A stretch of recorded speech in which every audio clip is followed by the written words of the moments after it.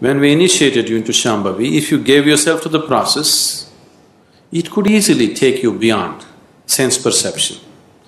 Many of you going into moments where you are no more within your sense perception, something else is beginning to happen.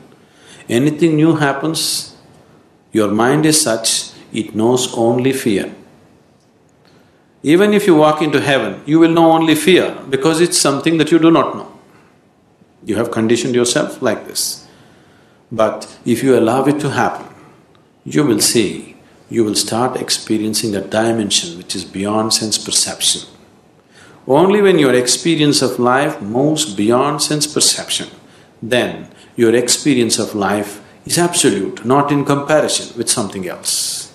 Then your experience of life has transcended the limitations of the physical. Then you have created an atmosphere to know who the hell you are. You better know who the hell you are. Otherwise, anything that you do is of no consequence.